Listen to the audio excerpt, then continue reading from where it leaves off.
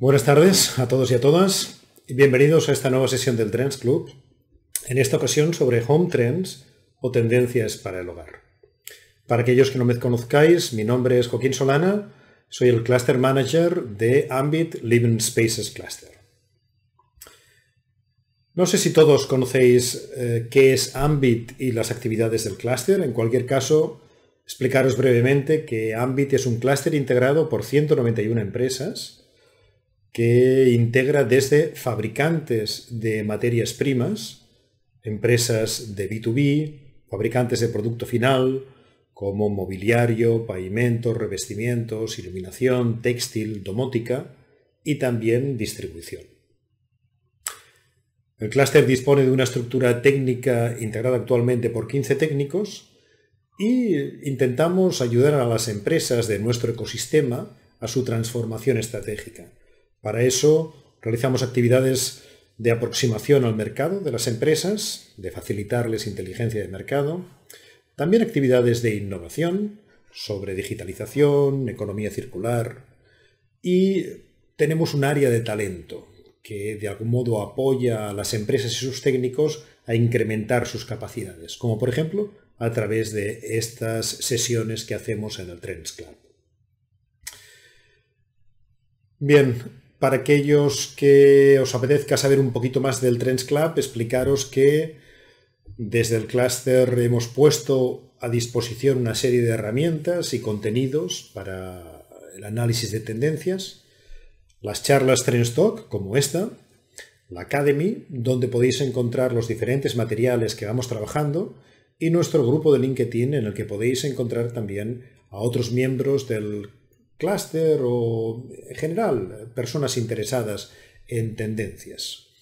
Disponemos de actividades en exclusiva para empresas socias del clúster Ambit que incluyen talleres de, formación, acceso a todos los informes de nuestra Academy y también la curación de contenidos en tendencias, con, acceso a bases de datos como WGSN para los miembros del clúster. Os animamos a que estéis informados de nuestras actividades y para eso lo mejor es acceder a nuestra web en el apartado Trends Club o bien seguirnos por las redes sociales, especialmente en el grupo dedicado que tenemos en LinkedIn, en pantalla lo tenéis ahora mismo, podéis acceder a él y solicitar el acceso. Os animamos a que nos sigáis en las redes, bien del Cluster Ambit, bien de Futurea, con el hashtag TrendsClub que tenéis ahora mismo en pantalla.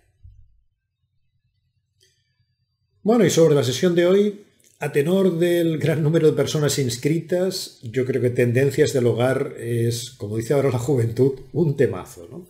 Un tema que motiva especialmente a los profesionales de nuestro ecosistema. Es por todos conocida la importancia que ha vuelto a tomar el interiorismo de nuestros hogares a raíz de la pandemia, eh, pero probablemente pese a esa toma de importancia, a la inversión que han hecho las familias y a esa reflexión, aún estamos lejos de aquello que nos gustaría que el hogar nos proporcionara y lo que realmente nos proporciona. Hoy Pepa Casado, investigadora principal de Futurea, nos presentará cinco macro tendencias que nos ayudarán a entender precisamente aquello, que es aquello que las personas querríamos que el hogar representara, eh, significara para nosotros. Bien, no me despido sin comentar con vosotros la próxima actividad relevante que vamos a hacer en el Cluster Ambit.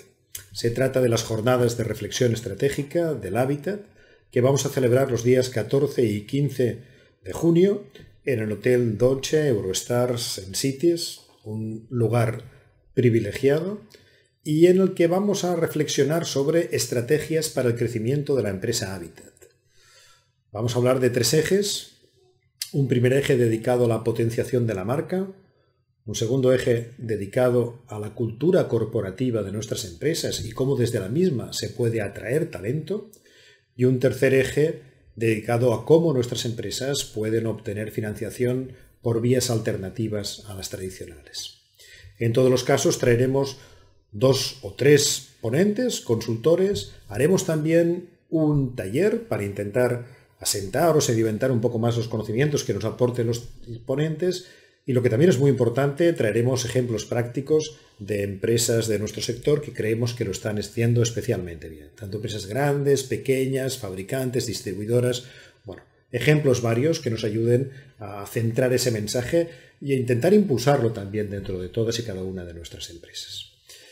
Aquellos que os interese podéis acceder a la información para la inscripción en las jornadas en la web del clúster, ir hasta la home, ambitcluster.org y desde allí podréis acceder a la ficha para rellenar vuestra inscripción. Bien, yo sin más os dejo ya con Pepa. Eh, recordaros a todos que mientras Pepa hace su presentación podéis enviar por el chat vuestras preguntas y el equipo del Trends Club las iremos recogiendo y las iremos contestando bien a lo largo de la sesión, bien al finalizar la misma. Pepa, adelante cuando tú quieras. Hola, buenos días, buenas tardes a todos. Eh, gracias Joaquín por tus palabras de introducción. Y bueno, estamos en una sesión más del Trends Club. Em, vamos a tener un par de sesiones online donde en esta primera vamos a explorar las tendencias para hogar y tendremos otra dentro de unos meses para hablar de tendencias en contract. Em, además vamos a tener algunas nuevas actividades, así que bueno, os invito a estar atentos de todo lo que vamos a ir haciendo. Y sin más, eh, empezamos con el tema de hoy, que, que, tiene que ver precisamente con Home Trends, con las tendencias que vamos a ver en el hogar, el equipo del Trends Club hemos estado trabajando, investigando los últimos meses sobre esos cambios que se están produciendo en el hogar y qué es lo que significan en relación con el equipamiento, con los productos del hogar y con las diferentes estancias, cocinas, el cuarto de baño, el salón, pero sobre todo también con, esos, con esas transformaciones que estamos viendo en el hogar durante los últimos años, ¿no? yo creo que hay algo fundamental y es cómo ha cambiado la perspectiva de lo que es el hogar, ¿no? Algo que estamos viendo es cómo pasamos mucho más tiempo dentro de casa, más de lo que lo hacíamos antes de la pandemia, pero sobre todo lo que ha cambiado es una perspectiva sobre lo que es el hogar, sobre lo que consideramos nuestra casa y sobre lo que queremos de ella. Y esto es algo que afecta desde luego a todos aquellos que os dedicáis al equipamiento de hogar, a todos aquellos que estáis creando proyectos eh, y por lo tanto es algo que tenemos que tener en cuenta a la hora de repensar cómo serán nuestros nuevos productos, pero también em, reflexionar sobre cuál es el aporte que hace el producto que tenemos hoy en día dentro de la gama o los proyectos que estamos haciendo al usuario, al habitante de ese espacio. ¿no? Algo interesante que tenemos es que tenemos mucha información de primera mano, ¿no? pero tenemos que ver también qué datos nos están dando los estudios sobre cómo las diferentes generaciones perciben el hogar y qué es lo que quieren, ¿no? Y también cuáles son los drivers que van a suceder. Por lo tanto, esta primera conclusión yo creo que es radical, ¿no? Como cada vez pasamos más tiempo dentro del hogar. Eh, de hecho, bueno, os dejo este dato que me parece muy interesante, como una de cada cuatro personas han fingido tener planes para quedarse en casa y esta cifra aumenta cuando estamos hablando de la gente joven, ¿no? Por lo tanto, aquí hay un cambio también generacional respecto a las generaciones más jóvenes eh, en cómo se sienten en relación con el hogar y obviamente, aunque hay otras dificultades que tienen, ¿no? como es el acceso a la vivienda, sin duda la casa es algo radicalmente importante para ellos. De hecho, bueno, para todos nosotros o la gran mayoría de nosotros, la casa es una extensión de nuestra personalidad, que es un tema que, del que venimos hablando hace tiempo, pero que va cobrando más y más importancia eh, en los últimos años. Em, cuando nuestro hogar refleja nuestra identidad, tenemos 1,5 veces más probabilidades de sentirnos positivos al respecto. ¿no? Por lo tanto, es algo importante porque habla también de cuestiones que son radicales dentro de la concepción del hogar, como es la sensación de felicidad ¿no? o protección. Eh, el 89% de la gente dice que es importante disfrutar la casa, pero solo un 56% dice que es en casa donde más disfruta. Por lo tanto, eh, aquí hay también un gap importante entre la expectativa y la realidad, donde hay una oportunidad para todos los que trabajamos dentro del hogar en dar respuestas, ¿no? en dar respuestas de una manera más eficiente y mejor y generar relaciones nuevas con nuestros clientes o usuarios de nuestros productos. Otra de las cosas importantes es como el espacio de la casa se ha convertido en un lugar de salud preventiva, ¿no? Esta crisis sanitaria un poco lo que ha dejado es la sensación de la importancia que es prevenir antes de curar y de cómo esa prevención no tiene que ver únicamente con aquellas cuestiones directamente relacionadas con la salud, sino con otras donde el bienestar es importantísimo, como es la casa, ¿no? Invertimos más en ergonomía para home office, para espacios de oficinas también, cuidamos más la casa, eh, todas las cuestiones relacionadas con sostenibilidad están muy ligadas también a salud, ¿no? Eh, y entendemos también la salud como sencillamente estar bien dentro de nuestra casa y por eso invertimos más, ¿no? Es decir, que ese concepto de lo que es bienestar o salud difiere mucho de persona a persona, ¿no? Puede tener que ver con la funcionalidad, con la relajación, puede tener que ver con la socialización. Todas esas cosas forman parte hoy de lo que consideramos una casa saludable, ¿no? Además de todas esas cuestiones técnicas y de materiales que obviamente siempre han estado ahí. Eh, y, y esto tiene que ver de forma directa con la idea de felicidad, ¿no? De hecho, bueno, para el 77% eh, está de acuerdo que a pesar del aumento del coste de la vida, todavía es importante experimentar momentos de felicidad, ¿no? Y eso se em, refleja de una forma muy evidente en el hogar a la hora de socializar con los demás dentro de la casa y cómo la casa se ha convertido en un escenario precisamente para generar relaciones eh, de confianza y de intimidad con nosotros mismos y con los otros, ¿no? Y esta idea de la socialización es una de las claves de las tendencias que vamos a, presentar.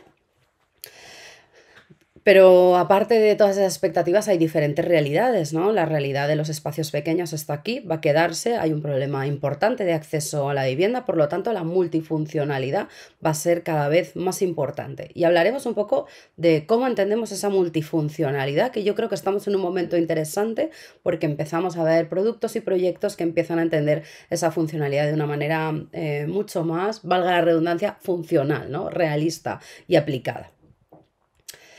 Eh, obviamente ese coste de la vida va a ser algo importante, ¿no? El incremento de los precios, los problemas en la cadena de suministros, ¿no? De hecho, pues una de cada diez personas dice que sus planes de familia, casarse o tener hijos eh, tendrán un impacto negativo precisamente por el coste de la vida. Y ya estamos viendo problemas de acceso a la vivienda precisamente eh, por la subida de los tipos de interés, ¿no? Esto es algo importante que va a afectar al mercado del hogar, obviamente. Hemos hablado un poco de expectativas, hemos hablado de soluciones, ¿no? Yo creo que algo importante que nos dio este estudio mm, eh, de este año de IKEA es precisamente esto, ¿no? ¿Cuál es el gap entre lo que queremos y lo que hay disponible en el mercado? En esos gaps es donde tenemos oportunidades de actuación, ¿no? Y si veis... Em, lo que, lo que percibe el usuario que tiene respecto a lo que le gustaría, pues hay muchas diferencias, ¿no? Em, y donde tenemos gaps más importantes son en realización, ¿no? Y hablábamos de la casa como un espacio em, de expresión de la personalidad, en el disfrute también, incluso en el sentido de pertenencia, ¿no? La propiedad, eh, la privacidad están mucho mejor resueltas. Em, pero hay otros donde hay muchísimas oportunidades de actuación, ¿no? En cierto sentido son espacios libres donde proponer nuevas soluciones. Por lo tanto, obviamente el presupuesto va a ser algo clave eh, y que va a beneficiar a todos los modelos do it yourself, obviamente, y a los DTC, los Direct to Consumer, de los que hemos hablado muchísimo también dentro del Trends Club y que son hoy en día players que están cambiando algunas de las reglas del juego. Por lo tanto, tenemos que estar muy pendientes de qué es lo que está pasando en ese mercado DTC que está aumentando, ¿no? Con todos los problemas también derivados, ¿no? Si seguís un poco lo que está pasando en este sector, en Estados Unidos ya hay DTC con verdaderos problemas eh, de implantación en el mercado, ¿no? Que están abriendo tiendas, y que están de alguna manera buscando soluciones en los canales tradicionales. Por lo tanto, esto lo que nos dice es como el canal online va a ser importante, pero no lo va a ser todo, ¿no? Y yo creo que esto es una buena noticia porque mm, aunque hay mucho espacio para todas estas nuevas empresas, también lo hay para todos aquellos que apuestan por modelos tradicionales, pero que están ya con las miras puestas en cómo esto se puede renovar, cómo puede cambiar, cómo un mix de marcas puede ser una forma interesante de hacer un approach al mercado eh, y a diferentes países.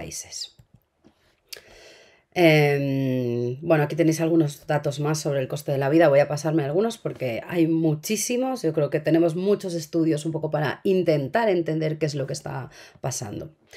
Pero para mí como una gran reflexión es esta, una frase que dijo Tom Dixon este año en la feria de Milán y que, mm, y que resume yo creo que muy bien eh, lo que está pasando en el hogar y absolutamente en todos los espacios que habitamos, ¿no? Él decía esto, como cada espacio de la casa tiene que trabajar mucho más duro de lo que lo hizo en el pasado. Es decir, nos estamos encontrando con personas muchísimo más exigentes con lo que su espacio vital tiene que ofrecerles y tiene que darles, ¿no? Y en ese sentido, esto es un reto que ponen sobre la mesa para todos aquellos fabricantes em, de equipamiento para el hogar y también para todos aquellos interioristas y arquitectos que están trabajando precisamente en dar soluciones domésticas. Así que para mí creo que esto debería ser el mantra que, que, deberíamos coger todos, ¿no? O el gran reto. ¿Cómo conseguimos que cada espacio o el espacio donde donde nosotros intervenimos sea mucho más eficiente y ofrezca muchísimo más al usuario en todos los sentidos. Esto no solo habla de funcionalidad, habla de absolutamente todo aquello que el usuario busca en su casa. ¿no? Creo que esta gráfica que os he enseñado antes de IKEA habla bien de cuáles son todos los ítems que estamos buscando dentro de nuestro hogar. Vamos a pasar a las cinco tendencias. Em, ya sabéis que es un informe bastante amplio, voy a pasar eh, repasando un poco cada una de ellas, pero bueno, os invito a todos a uniros al Trends Club, donde vais a tener todo el report eh, completo con todos los ejemplos y absolutamente toda la información. Por lo tanto, aquí tenemos en esta sesión un pequeño resumen, pero creo que si estáis interesados vale la pena acceder al informe y poder leerlo mucho, que todo el equipo de Future y del Trends Club trabajamos muy duro en ello. Bueno, pues vamos a pasar por las cinco tendencias, donde un poco vamos a analizar lo que está pasando respecto a los insights del usuario, qué es lo que está pasando respecto al contenedor y después al contenido, ¿no? Es decir, esta casa como un organismo global que está ofreciendo soluciones. La primera de las tendencias tiene que ver con esta idea de la mm, casa regenerativa, ¿no? De, de, la sostenibilidad como un factor fundamental en cómo entendemos hoy la vivienda. Eh, y sobre todo también de cómo empezamos a entender cómo la casa ha de ser un lugar que lejos de generar un gran impacto sobre el entorno puede ayudar a regenerarlo. ¿no? Esto va a tener un efecto muy importante obviamente en el medio ambiente y por lo tanto va a suponer repensar los materiales, los sistemas constructivos, la casa, pero tenemos aquí retos importantes. ¿no? El 80% de las viviendas que habitaremos en los próximos años ya están construidas, es decir, tenemos que buscar soluciones para aquello que ya está hecho, más allá de que la nueva construcción obviamente tiene que atender a nuevos criterios. ¿no? Em, el sector de las reformas tiene que, que cambiar, ¿no? el sector de los residuos que se generan, por ejemplo, y obviamente el consumo energético, que es un tema clave que va a afectar a esta tendencia y que tiene obviamente mucho que ver con, con, la factura energética al final y es por lo tanto una de las cuestiones que más está avanzando. Aunque la sostenibilidad es mucho más que la factura energética, ¿no? Cuando hablamos de impacto sobre el hogar. Yo creo que esta es una de las cosas que van a ir avanzando. Es cierto que lo primero que nos duele es el bolsillo y por lo tanto lo que más avanza, pero hay otras cuestiones que van a empezar a ser importantes, ¿no? La idea es esta que habla pues Noah Gallagher, que es un escritor que trabaja para el New York Times, ¿no? Cómo empezamos a imaginar un hogar que a través de los hábitos cotidianos pueda regenerar el ambiente, pueda em, imaginar nuevas formas de vida y de cómo, cómo usamos, gastamos los recursos cada día dentro del hogar sin, sin perder obviamente todas las comodidades, pero sí quizá algunas que hemos considerado necesarias, pero quizá no lo sean tanto. Y ahora os pondré algunas cosas sobre la mesa interesantes.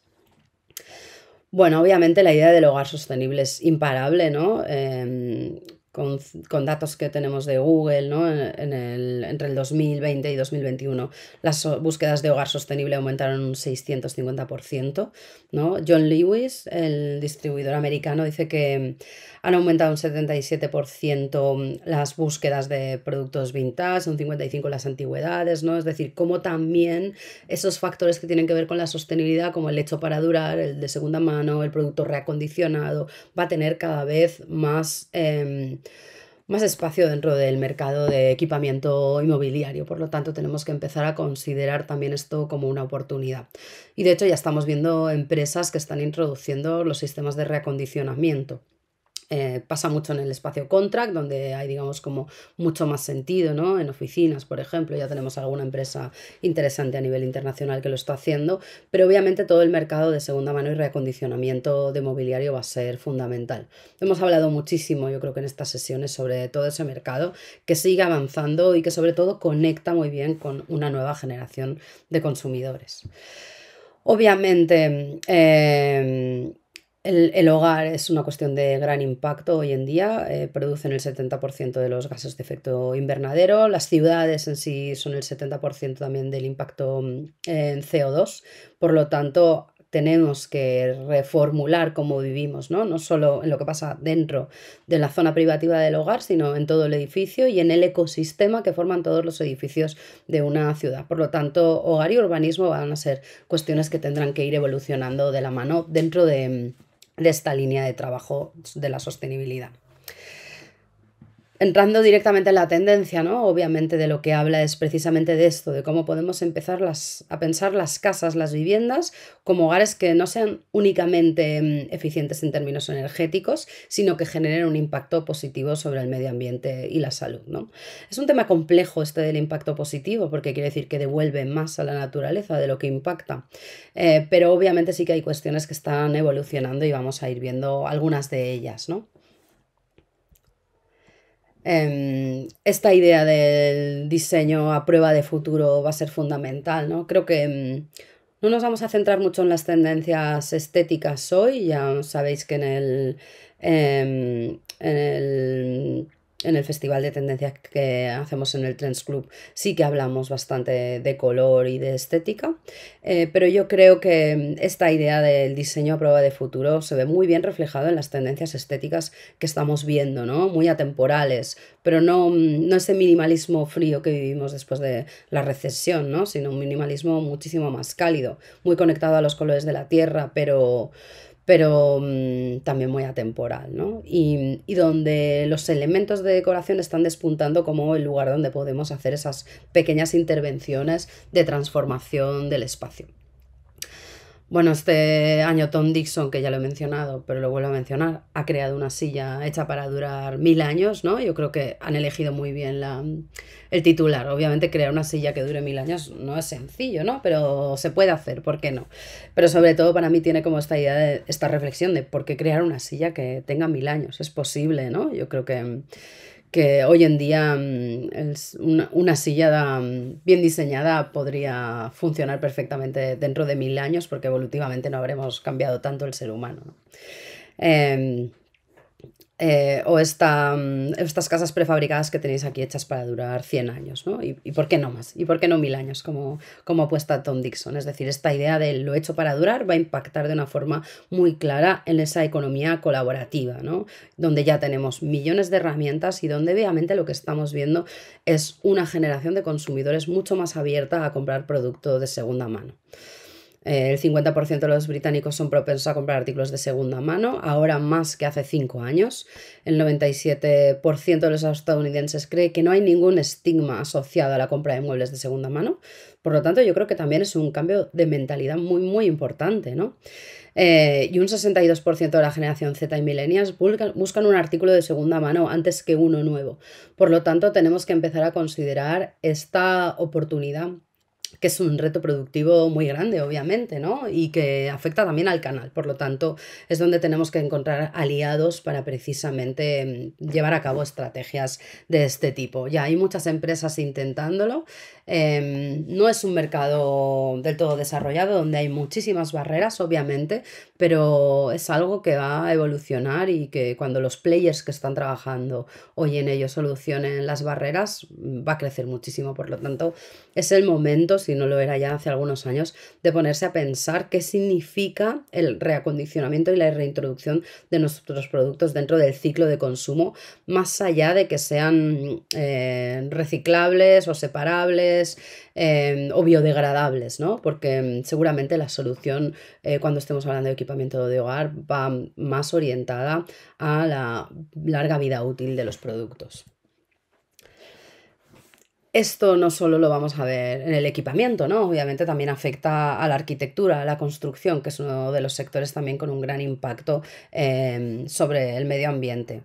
Eh, y del que tenemos que empezar a repensar, ¿no? Y de hecho ya hay algunas empresas que están precisamente em, haciendo esto, ¿no? Eh, pensando un poco cómo contrarrestar el daño medioambiental fabricando, eh, construyendo a través de materiales ecológicos, a partir de desechos naturales, de residuos alimentarios o incluso de excrementos de animales, ¿no? Por lo tanto, creo que vivimos en un momento muy interesante en cuanto a nuevos materiales de construcción que obviamente em, ahí tenemos grandes barreras que tienen que ver con la legislación, pero también tenemos muchos em, diseñadores, muchos arquitectos y muchos interioristas intentando hacer presión precisamente para que las legislaciones sean un poco eh, más estrictas respecto a la materialidad. Por lo tanto, también estamos en un contexto donde eh, la legislación va a seguir avanzando y van a crear un marco eh, más adecuado para ello. España no sería el caso más avanzado en este sentido, pero sí hay otros mercados que están liderando esto, otros países, y que harán que poco a poco se vayan introduciendo.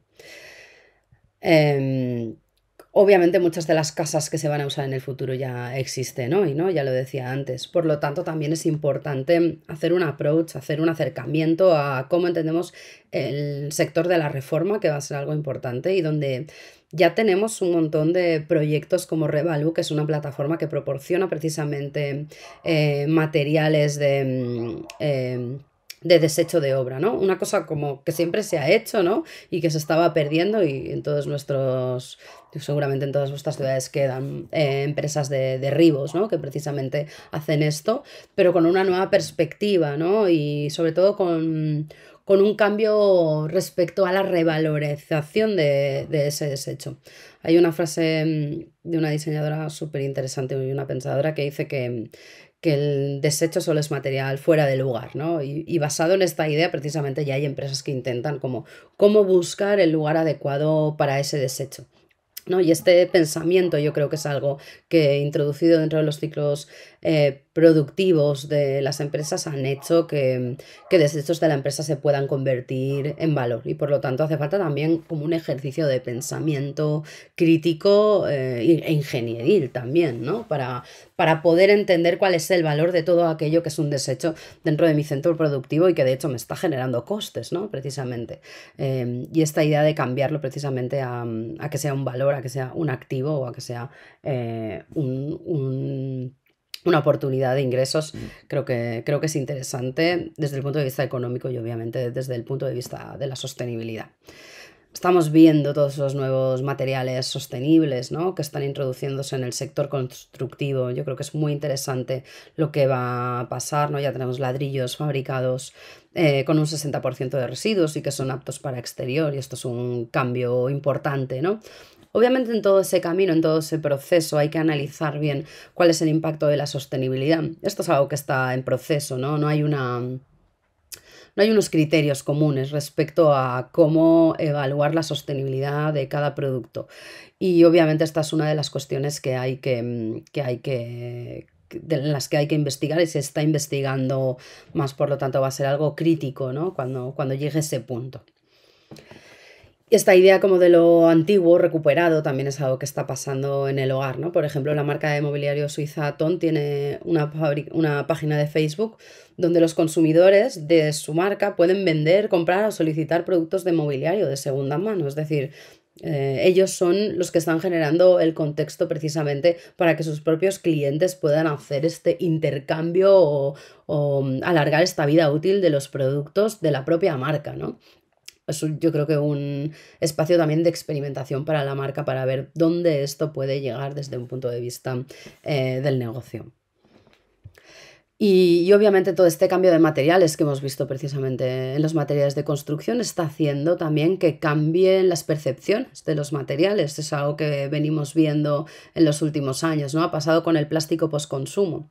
Eh, todo este, por ejemplo, toda esta estética stracciatella del plástico postconsumo de repente se ha vuelto en una tendencia estética, precisamente porque ha habido también un cambio de percepción de qué es el material, ¿no? De un desecho a algo que, que puede ser interesante, que puede ser estético, que puede ser atractivo Y eso está haciendo que se exploren materialidades nuevas en diferentes categorías de producto. El más extremo que os traemos es este inodoro que veis aquí de la marca Budio, que está hecho a través de virutas de madera y resina, ¿no?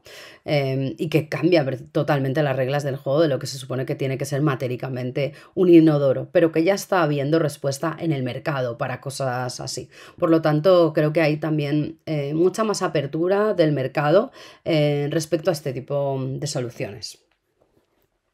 Otra de las cuestiones importantes, como comentaba, tiene que ver con la factura eléctrica, obviamente.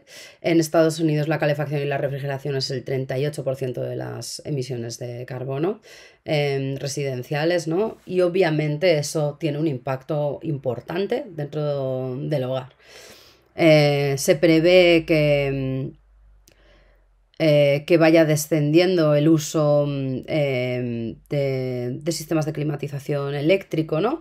Y obviamente lo que estamos viendo es cómo ese coste de la energía está haciendo que eh, surjan nuevas formas de eh, climatizar las viviendas, ¿no? Aquí tenéis algunos ejemplos como muy macro de cómo se pueden calentar los hogares, pero sobre todo lo más importante es cómo estamos viendo un descenso, una disminución potencial de la demanda de energía relativa al aire acondicionado en busca de soluciones pasivas. ¿no? Las soluciones pasivas de climatización están muy bien recogidas dentro del ámbito de la arquitectura, la arquitectura pasiva, Passive House, tiene muy claro esto, pero toda esta idea de la mm, climatización pasiva también entra dentro del equipamiento del hogar, ya sea cosas pequeñas o grandes. ¿no? Una de las cosas que está creciendo muchísimo es la categoría de ropa de cama fresca, ¿no? Está creciendo un 9% interanual. Es una búsqueda constante dentro eh, de los diferentes buscadores online. Por lo tanto, aquí hay una... Eh, una posibilidad muy interesante, ¿no? Los ventiladores es un sistema, es una solución que está creciendo muchísimo, ¿no? Incluso en hoteles, que es algo que hablábamos recientemente en otro foro, ¿no? De cómo muchos hoteles están introduciendo el ventilador, ¿no? Y, y cómo esperan en poco tiempo poder no tener que encender la climatización o el aire acondicionado horas antes de que llegue el cliente. Esa climatización pasiva también la estamos viendo en exterior, con el crecimiento eh, imparable de todas estas categorías que tienen que ver con las pérgolas y con los sistemas de arquitectura, mm, de equipamiento arquitectónico de exterior, ¿no? Eh, que están creciendo cada vez más y más. Em, y obviamente hay como muchos elementos tecnológicos también que tienen que ver con los pequeños gestos, pero sobre todo me gustaría destacar este que vemos arriba, que es una cocina, ¿vale? Es, de Impulse Lab, es un proyecto muy interesante de cocinas de inyección, de inducción, perdón, que calientan el agua en apenas segundos, pero sobre todo de cocinas que como veis aquí simplemente van enchufadas a la toma de corriente y que reducen el espacio de cocina al mínimo, ¿no? Obviamente esto tiene que ver con la sostenibilidad, pero para mí también habla de otra cosa, que son cómo están transformándose las cocinas. Y hablaremos un poco después. La eficiencia del agua va a ser algo importantísimo, ¿no? De hecho, pues por ejemplo, en Pinterest ha crecido un 155% el interés por soluciones de mm, sistemas de recogida de agua de lluvia y tenemos ya muchísimos eh, proyectos, ¿no? La UFEN está haciendo un inodoro que separa mm, la orina de las aguas residuales para poder utilizarlo. Eh, Groge ha sacado este caño ultra fino para reducir el consumo de agua. Obviamente, aquí va a haber innovaciones constantes con lo que eh, tiene que ver con el agua y además viviendo en un país como en España donde hay una crisis de recursos hídricos importantes y el futuro nos depara una, escasez, una escasez cada vez mayor. Por lo tanto, el agua va a ser una de esas cuestiones, además de la energía, que vamos a tener que hacer un approach importante. Eh, esta idea de la sostenibilidad se puede ver desde muy diferentes puntos de vista y obviamente afecta a absolutamente todas las partes del hogar, ¿no? Es multisistema em, y es multimodal y por lo tanto va a ser algo clave. Vamos a pasar a la segunda de las tendencias que em, que para mí es como una de las cosas más interesantes que hemos visto en Milán, que por cierto tendremos una sesión dentro de poco para explorar un poco qué es lo que ha pasado en la feria y reflexionar. Pero tiene que ver esta, con esta idea de la true functionality. ¿no? Venimos muchísimo tiempo hablando ya sobre eh, la multifuncionalidad del hogar y y la flexibilidad, pero creo que es en este momento en el que empezamos a ver soluciones realmente interesantes eh, para esta idea de la funcionalidad. ¿no? Vivimos la casa de otra manera, eso está claro, ¿no? Un 8% de, los, de las personas ha estado trabajando en el cuarto de baño, para que tengáis algún dato. Es decir, la casa la utilizamos ya de una manera completamente diferente. Eh, esta tendencia de la funcionalidad real tiene que ver sobre todo con cómo empezamos a integrar la multifuncionalidad de una manera mucho más sencilla, menos ortopédica. Ya no se trata de hacer productos mil en uno, ya no se trata de hacer productos que se transforman, no se trata de estar cambiando la casa según las horas del día para que se adapte a diferentes funciones, sino de hacer productos mucho más intuitivos, más fáciles de usar, que no sacrifiquen la estética y que tengan un uso un poco menos definido para que sea el usuario, el habitante de el espacio el que precisamente tenga la capacidad de utilizarlo de una manera mucho más fluida, agradable y adaptada. Veremos algunos ejemplos, ¿vale?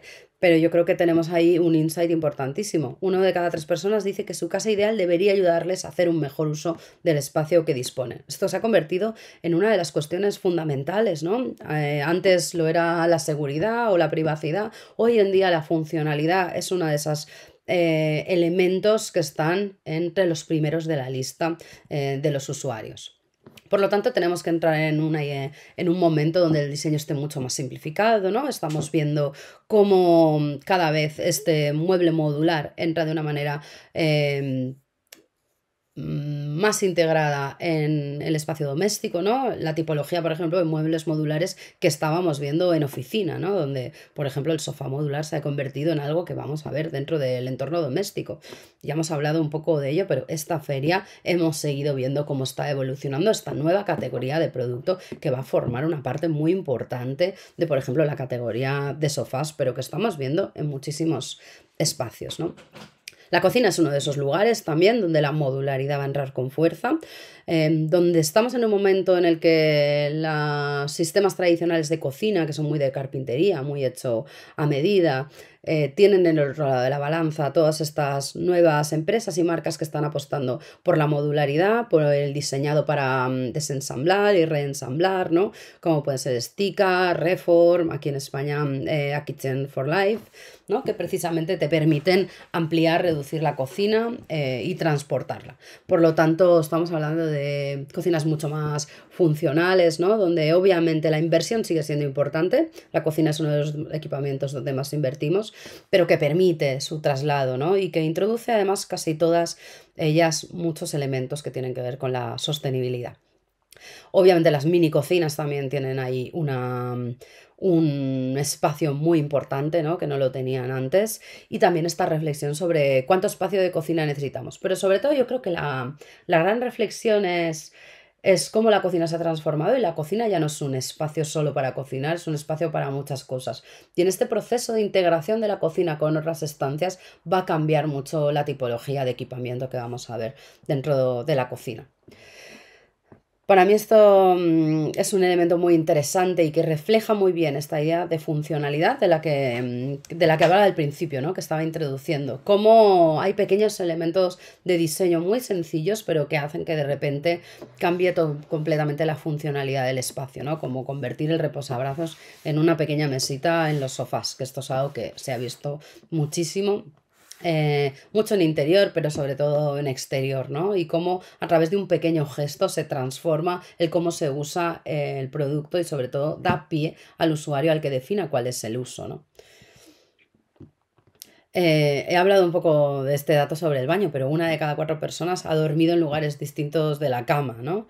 Hay millones de datos sobre eso. Por eso el sofá está evolucionando tanto como un sistema de descanso, ¿no?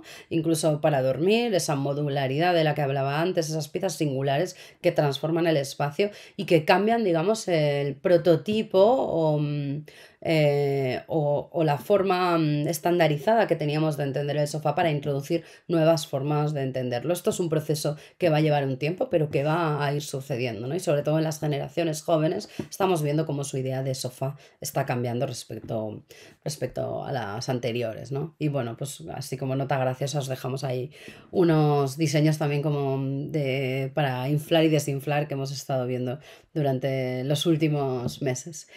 Em, Cuando hablamos de multifuncionalidad, yo creo que es importante entender los porqués, qué es lo que está buscando las personas.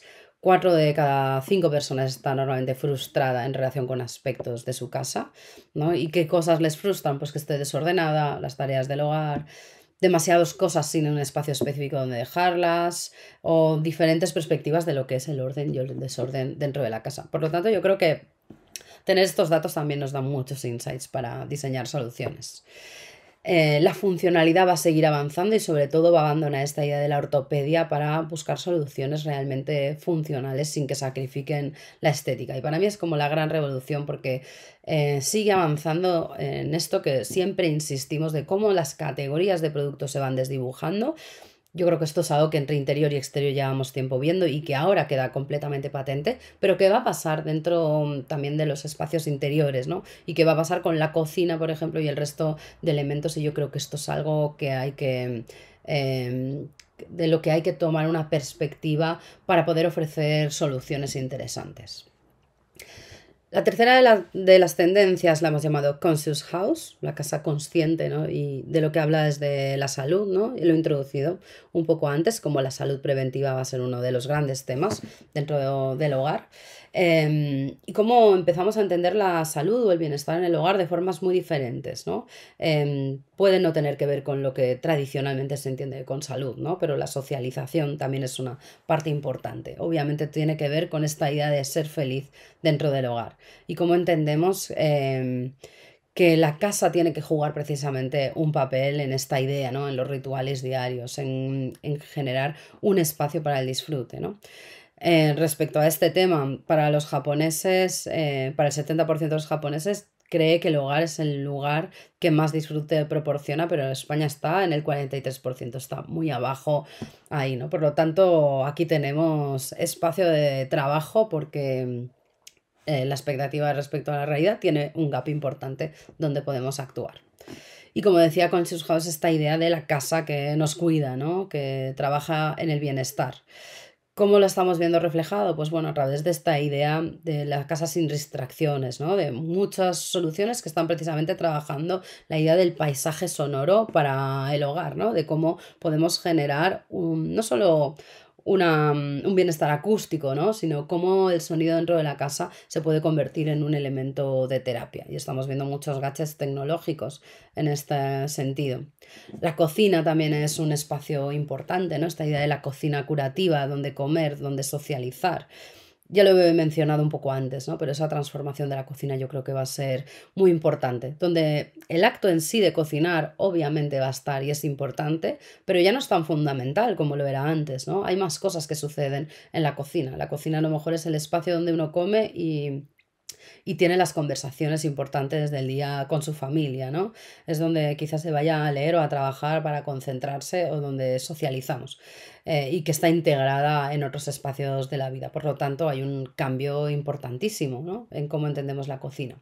El cuarto de baño va a ser otro de esos lugares, ¿no? Eh, y de hecho, cosas que estamos viendo que surgen y son muy interesantes, es como antes el cuarto de baño era un lugar cerrado, ¿no? Donde estaban todos los elementos que tienen que ver con la higiene, y ahora hay algunos de ellos que salen, ¿no? Estamos viendo muchísima implementación de duchas exteriores, ¿no? Incluso ya algunas soluciones de duchas exteriores exentas precisamente para introducirlas dentro incluso de patios interiores. Estamos viendo pequeñas piscinas que se integran incluso en terrazas, ¿no? Esta idea de del agua va a ser importantísima en nuestra relación con la salud. Estamos viendo este tipo de soluciones, ¿no?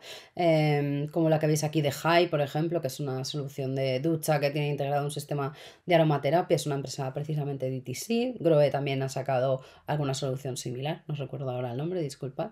Pero obviamente el agua va a ser algo importante dentro de esta rutina del wellness.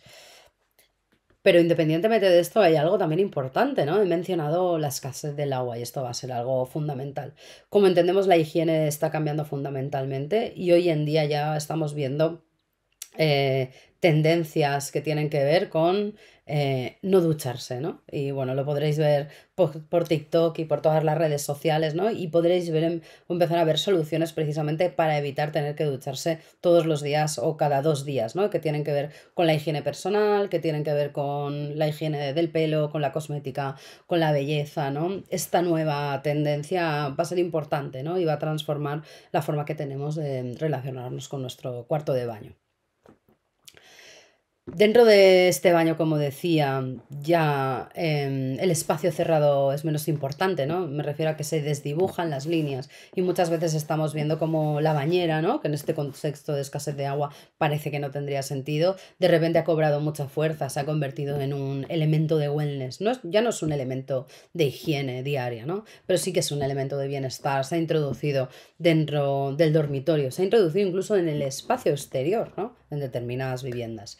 Y yo creo que esto se ve muy claramente en las tipologías, en los diseños que estamos viendo hoy en día en esta categoría de bañeras y en cómo están evolucionando. Es obviamente ya un elemento casi de lujo, ¿no?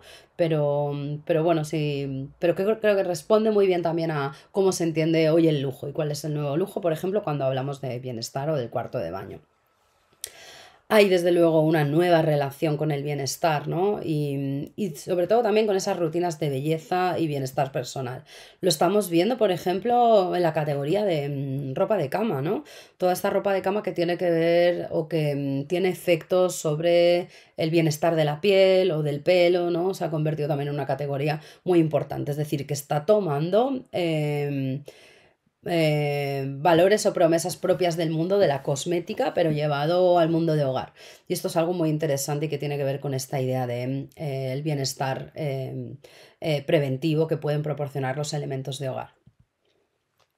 Obviamente dentro de esta tendencia vemos una estética que tiene mucho que ver con esta idea de la relajación, eh, del elemento reparador, ¿no? de cómo los textiles se han convertido en elementos reparadores y esto me parece algo fundamental que, encaja precisamente con esta idea que he dicho antes de cómo estamos viendo categorías de producto de hogar que están vendiéndose con valores eh, propios de las categorías del sector de la cosmética.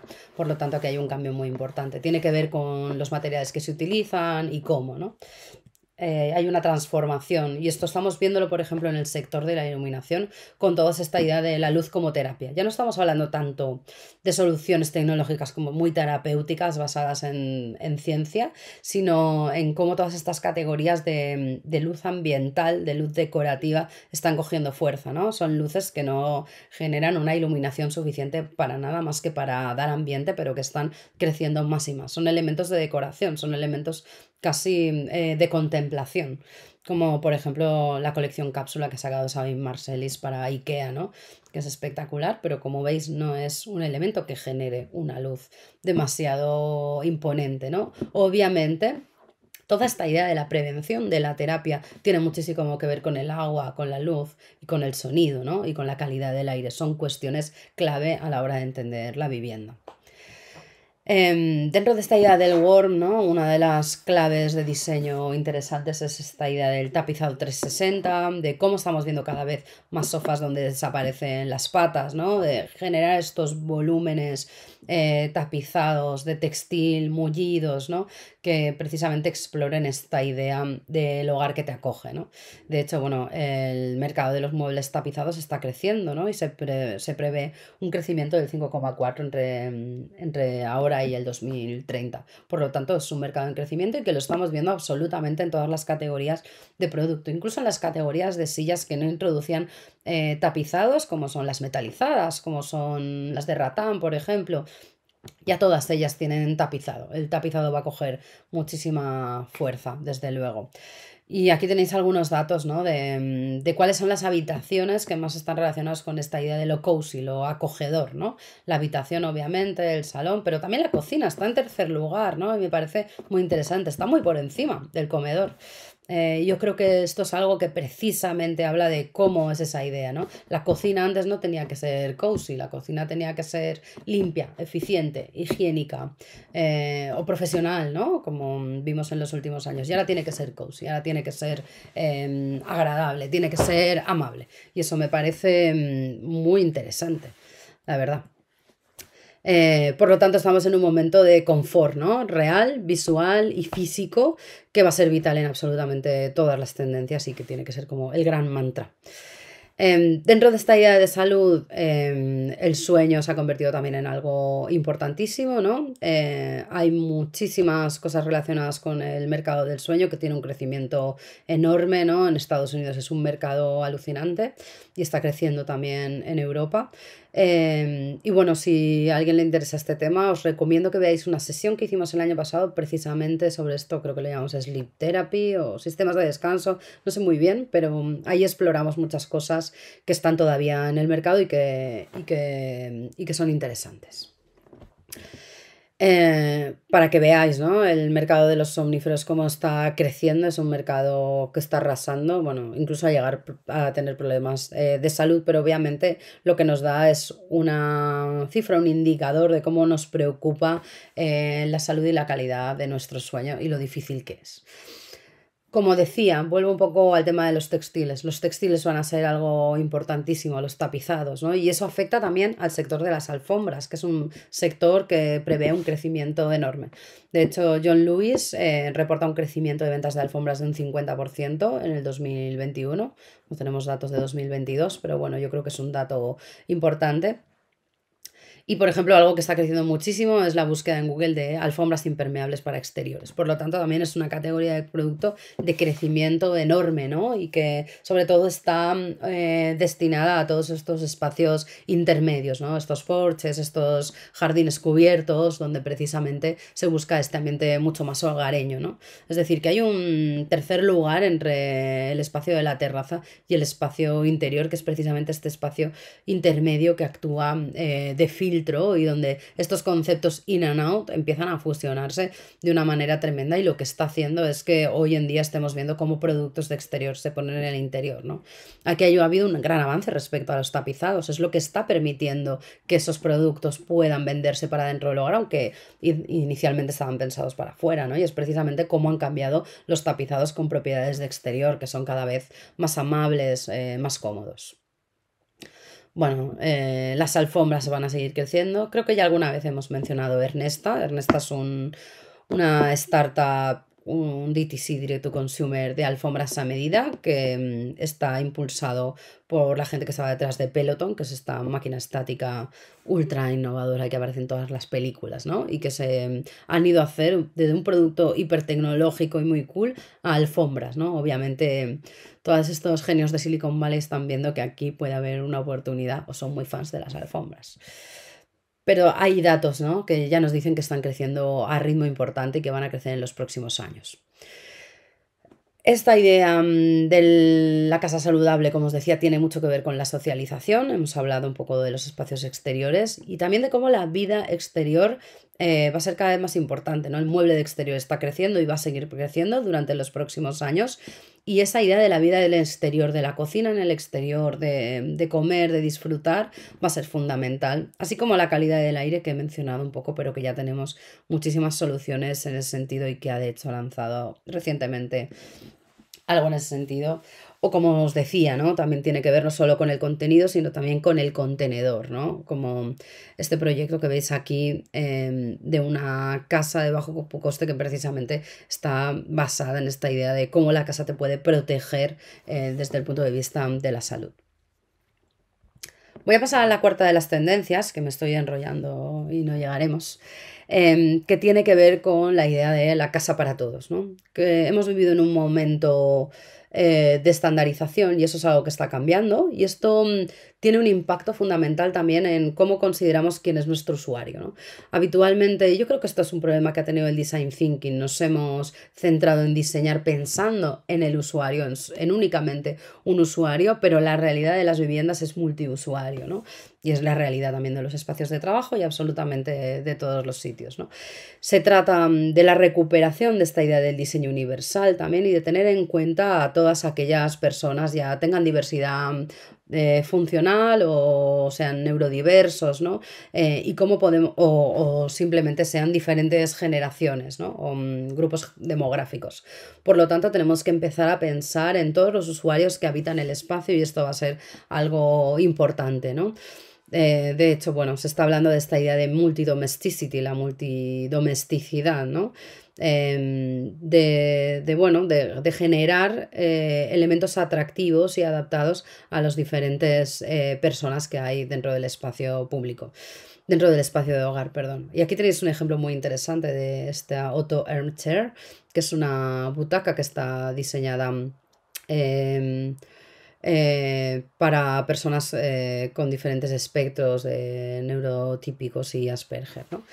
Muy interesante, ¿no? Porque, bueno, aunque obviamente aún se ve un diseño un poco extraño, ¿no? Ya estamos empezando a explorar a través de esos productos estéticas más hogareñas, ¿no?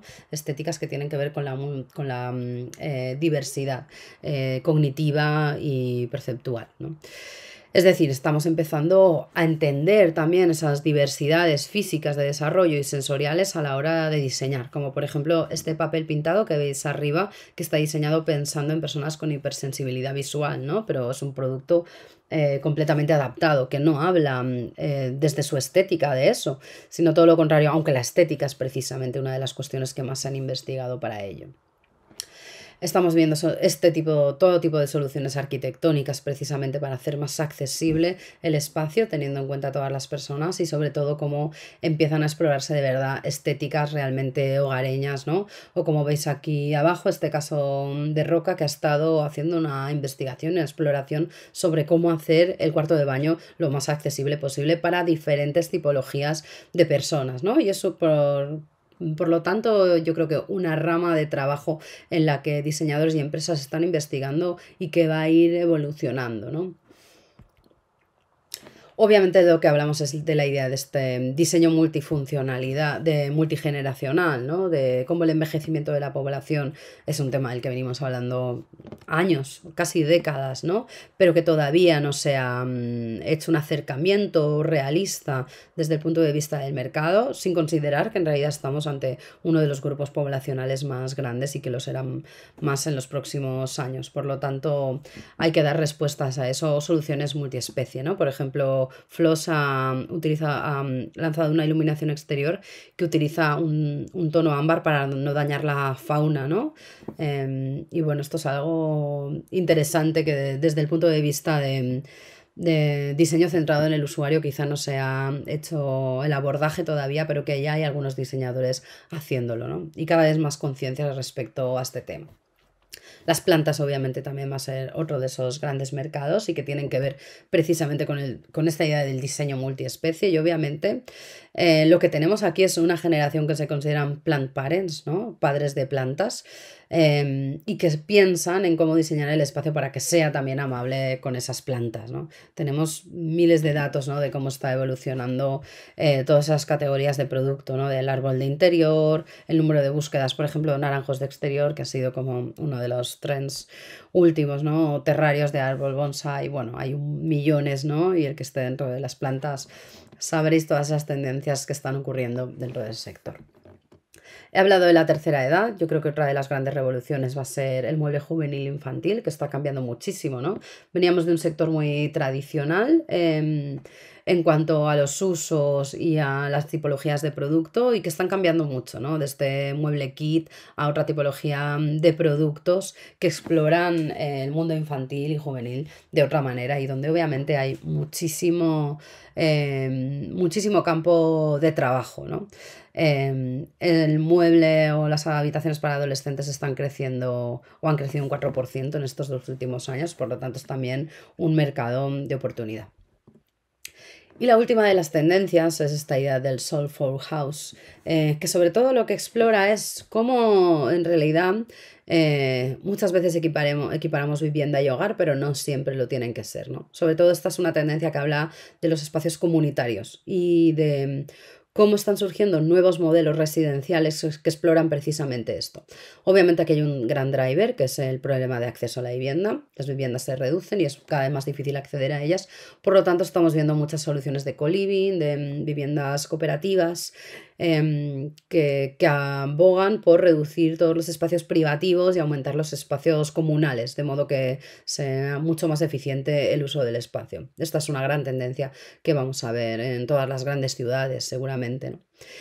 eh, los vecinos se han convertido en algo importante, ¿no? La idea de comunidad va a ser cada vez más eh, relevante cuando hablamos de hogar. Y sobre todo en estos nuevos modelos que precisamente abogan por eh, ese compartir algunos de los recursos. Bueno, como decía, el acceso a la vivienda es algo muy importante. En el primer trimestre de 2022, el 81% afirmaba que podría permitirse menos de la mitad de las viviendas disponibles en su mercado, ¿no? Eh, y el porcentaje que puede permitirse la mitad o más de las viviendas disponibles es solo el 19%, ¿no? Era el 37% en el mismo trimestre de 2020. Por lo tanto, estamos hablando de que hay un problema importantísimo de la vivienda eh, a nivel internacional. Eh, y, eso va a ser uno de los empujes precisamente para todos estos modelos comunitarios de vida. Em, tiene que ver precisamente con esta idea de la comunidad, del, preocuparse por el otro, ¿no? Pero sobre todo también con, con la evolución de la economía colaborativa. El 83% de los americanos está, de los estadounidenses, perdón, está de acuerdo en que la economía colaborativa es más cómoda y eficiente que los métodos de compra tradicionales. Por lo tanto, y bueno, y tenemos 830 millones de personas en China participando de esa economía colaborativa. Hay una evolución en los números, pero también hay una evolución en cómo percibimos la economía colaborativa. Es una cuestión de necesidad, obviamente, pero es una cuestión también de conciencia respecto a una forma de consumo y que tiene obviamente que ver con esa crisis de la vivienda que he mencionado. Por lo tanto, lo que estamos viendo son todos esos nuevos modos colaborativos de vida, esas mm, comunas modernas, ¿no? Y que están haciendo y obligando a que el espacio de la casa tenga que evolucionar, ¿no? A que los espacios se fusionen, obviamente, y empecemos a ver espacios eh, que no responden a los estándares, ¿no? Como vemos aquí, ¿no? Con este pequeño espacio donde dormitorio y salón, oficina se fusionan, ¿no? Donde los productos también son eh, menos definidos en cuanto a su uso, como veis en este proyecto de aquí arriba, ¿no? Em, donde las particiones y las reconfiguraciones son algo fundamental, ¿no? Y el equipamiento de hogar aquí juegan un papel crítico y donde estamos viendo precisamente cómo todas estas soluciones de arquitectura interior empiezan a tener soluciones también en equipamiento de hogar ya industrializado que es donde hay ahí una gran oportunidad porque va a seguir aumentando el número de viviendas en este tipo. Por lo tanto, es un mercado en desarrollo que tenemos que ir, em, tenemos que ir eh, vigilando para entender la evolución. Eh, la cocina al exterior formaría parte dentro de esta idea, ¿no? Esta idea de las mini cocinas y las cocinas al exterior. De hecho, bueno, las cenas al aire libre están cogiendo muchísima fuerza, ¿no? Y tiene que ver también con esta idea de comunidad. Tenéis aquí algunos datos de crecimiento. Eh, pero sobre todo también dentro de, la vivienda lo que está pasando es la búsqueda de pequeños espacios un poco más curados, que sean eh, lugares que aporten comodidad y sensación de hogar, ¿no? Por ejemplo, en Pinterest aumentaron las búsquedas de mini bibliotecas, ¿no? De, generar estos pequeños rincones dentro de la casa donde hay una oportunidad y precisamente para en pequeños, en espacios reducidos generar esta, esa sensación de hogar. Y por lo tanto, dentro de esta, mm, de esta tendencia va a ser muy importante precisamente cómo vamos a aportar soluciones para esos espacios comunitarios. Ahí es donde hay un, entorno de oportunidad, ¿no? Estas nuevas viviendas, donde se necesita un equipamiento muy similar al del hogar, pero no exactamente igual, ¿no? Porque tiene unos condicionantes diferentes, porque tiene muchos más usuarios, tiene tendrá otros requisitos técnicos, pero que van a ser importantes, ¿no? Lo estamos viendo en el mobiliario exterior, en las cocinas, ¿no? Donde cada vez hay más cocinas colaborativas en las oficinas compartidas dentro de bloques de vivienda. Es decir, que tenemos ahí un nuevo mercado interesante en ese sentido. Bueno, este ha sido el repaso por estas cinco tendencias de las que em, hemos estado investigando el equipo. De nuevo, os recomiendo echarle un vistazo a todo el informe, así que apuntaros al Trends Club para tener acceso a todos. Y bueno, como gran conclusión para mí sería esta, ¿no? Cómo vivimos en un momento de transformación de la vivienda. Eh, hemos hablado muchísimo, yo creo que es ahora donde podemos ver cuáles son los verdaderos cambios que han permanecido después de la pandemia. Y aunque obviamente el cambio no ha sido radical, sí que creo que ha ido una evolución muy importante, con cosas que nos parecían estándares muy fijos y monolíticos dentro de la vivienda que de repente están cayendo, ¿no? Y donde ya tenemos un mercado que se atreve con nuevas tipologías de vivienda en cuanto a los sistemas de propiedad, pero también en cuanto a los sistemas de distribución. Va a haber una fragmentación mayor de los mercados y por lo tanto una oportunidad de nuevas tipologías de producto orientadas a nichos, ¿no?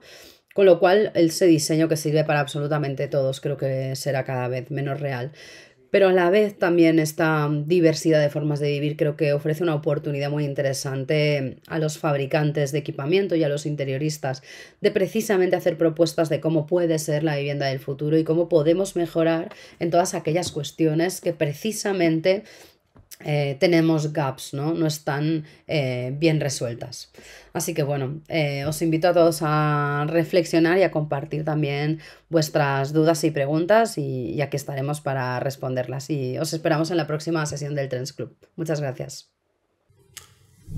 Muchas gracias Pepa por esta fantástica presentación. Recordaros a todos los asistentes que seáis socios del Cluster Ambit que podéis acceder a través de la internet del clúster a los contenidos de esta sesión. Si alguno de vosotros tiene algún problema, por favor que nos escriba y le explicaremos cómo acceder.